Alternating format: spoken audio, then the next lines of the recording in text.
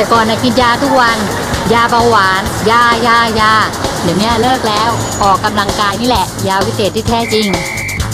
อึดอัดมากอ้วนสารพัดโรคตามมาหนึ่งปีมาเนี่ยเราออกกำลังกายกันทุกวันเลยนะ เราจะไม่กลับไปอ้วนอีกแล้วล่ะค่ะออกกำลังกายในวันนี้เพื่อสุขภาพที่ดีตลอดไป กระทรวงสาธารณสุขและสปสช อยากเห็นคนไทยสุขภาพดี